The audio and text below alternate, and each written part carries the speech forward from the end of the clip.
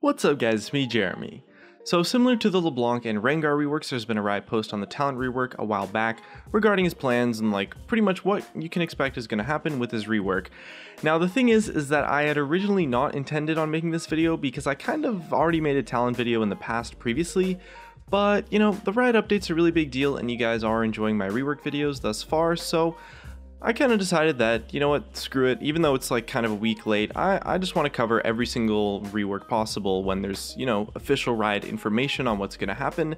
And I personally really enjoy making these videos about reworks anyway, you know, this sort of design and like theory crafting stuff, I guess you could say, like predictions and just kind of, you know, breaking down what we can expect has really been something I enjoy for a long time now.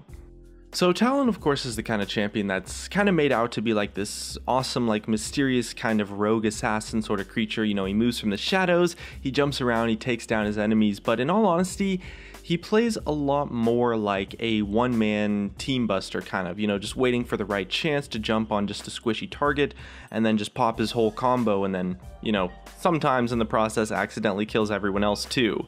So there's not that much counterplay actually because the thing about Talon is that he can offload his damage just so fast, right? Like he just all he needs to do is just press all of his buttons and that's kind of it. Like there's really no time to react at all. And that's a big part of why Riot decided that he needed a rework and why he's going to be one of the big 4 in the upcoming Assassin update.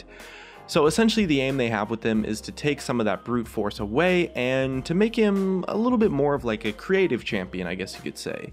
You know, Talon has his own niche as a champion assassin wise, but his kit was never really that well tied to it. So, of course, the aim with his rework is definitely going to try and make him a little bit more unique as an assassin, including like his own unique mechanics and just way more cool abilities from a thematic point of view, while also at the same time making him a lot healthier of course and more of just like a true assassin champion. So to accomplish the assassin reworks overall on this sort of scale, Riot sets out these gameplay goals, you know, the things they design around to make sure that each champion actually ends up turning out the way they want them to, right? So for Talon, a huge part of this this goal that they have for his design is going to be roaming. So if you think about it, assassins are all, you know, reasonably good roamers because they've got great dashes, they've got gap closers, you know, they've got a lot of damage, but none of the assassin champions are really all that good at just getting from one lane to another in the first place. You know, those gap closers are a great way to start a fight, to enter a fight when you're actually ganking the lane once you get there, but they don't necessarily help you travel from one lane to the next, right? So Talon is going to be changed to actually take up that niche. Like that's going to be his thing as an assassin. So from what we've seen, it's almost certain that he's going to get a way to traverse the map to just like roam from one lane to another in just a seriously awesome way. He's probably going to be faster at just getting from one lane to another outside of combat to make that work, you know, also just getting back to his lane faster as well. I mean, right now he only really gets a speed up when he's ultimate, so that's not entirely that useful when you're actually out of combat.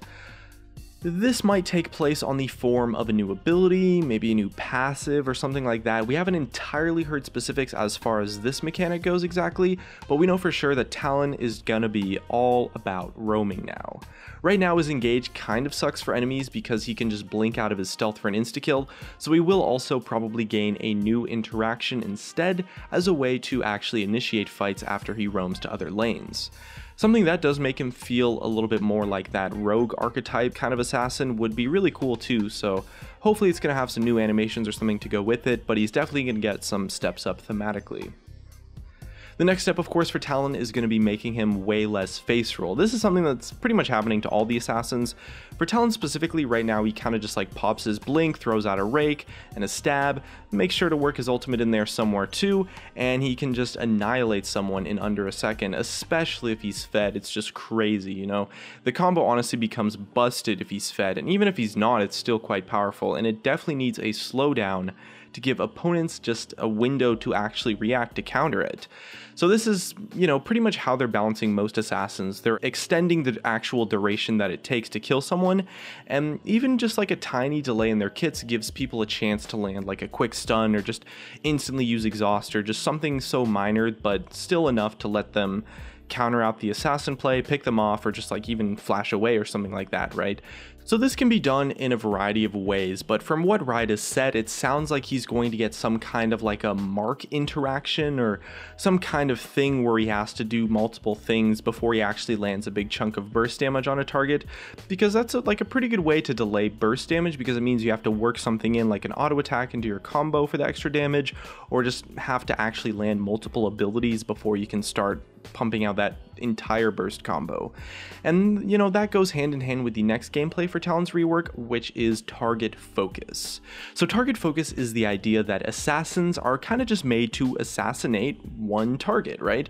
You know, right now Talon can deal damage to multiple people when he only really intends on killing one of them.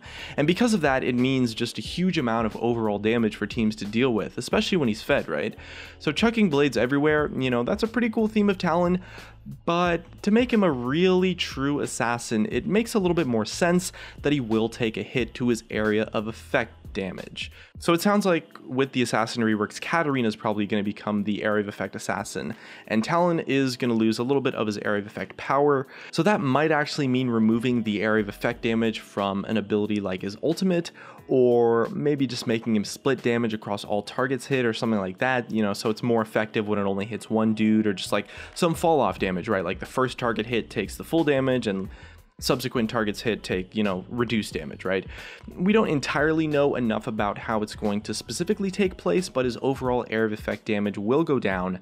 However, it probably, almost certainly actually, will not affect his Rake, since that is an ability that is pretty core to his you know, thematics and design. It's not something that I would expect to see a lot of change, and it's also a lot of what he relies on in lane to wave clear. And laning with Talon would honestly really suck with just like a weak rake ability, so it's probably going to be left alone. I mean, it's definitely a really cool mechanic. It's a really unique spell as well, so there's not really that much reason to change it all that much. Alright, so with that said, let's go over what you can expect will go down with the Talon rework. What we're definitely expecting to see is a new passive that interacts with the rest of his kit in a more proactive way. That's definitely something that would work a lot more with the roaming idea. You know, that could probably be his passive, is just something that helps him move around the map. So it's definitely possible that the new passive is going to be that roaming thing, but you know, it could also be some element of his damage combo as well. His Q is a little bit of a mystery right now. I mean, auto attack resets are pretty cool, and the bleed effect on it is actually kind of cool for like a rogue sort of character, but so far this is the one ability in his kit that Riot actually haven't mentioned that much about it. So that might mean it's not changing all that much, or it might mean that it's actually going to be a brand new ability that they don't really want to say all that much about. What we do know is that they definitely want to keep Talon a bit more simple in terms of inputs rather than an assassin like Zed. So unlike a lot of the other assassins actually, he's not going to become that much harder to play. He's not going to get that much super complicated mechanics like a lot of the other assassins are. I mean, he might become a little bit more difficult to play strategically just because of that emphasis on target selection now. But unlike, you know, Riot has said that they're probably making all of the other assassins, or at least of the the big four, they're making all of the other assassins that fall into the big four a little bit more difficult to play, except for Talon.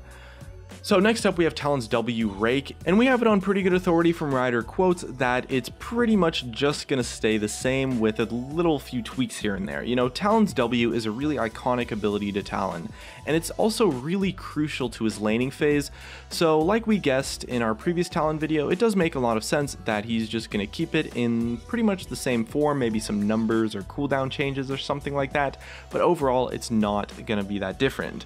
However, his E Cutthroat is definitely definitely getting big changes for sure because we know that Talon is getting some kind of new mobility tool, which might mean the new passive, but nah, it's almost certainly just going to be a change to his E.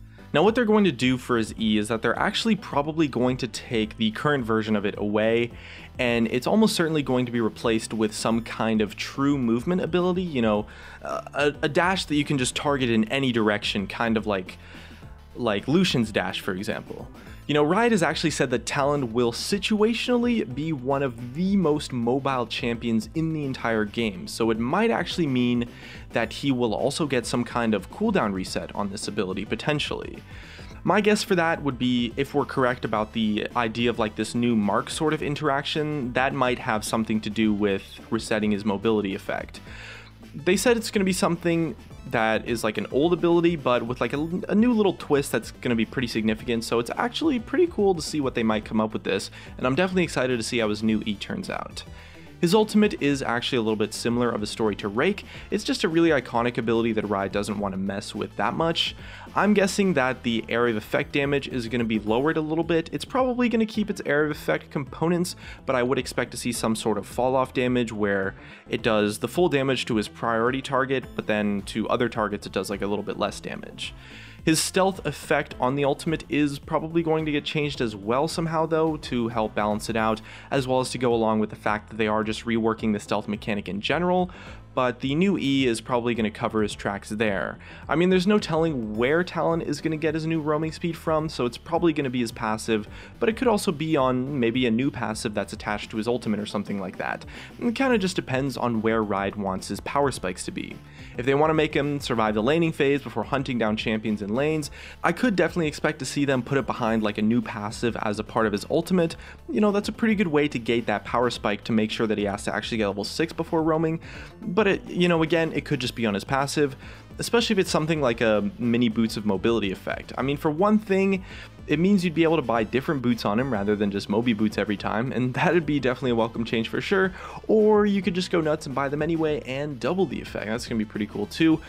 Anyway, from what we can tell so far, Talon is probably going to have a pretty significant shift in his playstyle, which is potentially a good thing because it means he's actually going to work more of like a proper assassin rather than just a face roll champion kind of where he just presses all of his buttons for a combo and then his actual skill is involved in like strategic and positioning and like flanking and all that stuff or at least now if you're going to wipe a team with him, you're going to have to work harder for it rather than just kind of waiting for people to group up and then smashing your area of effect abilities.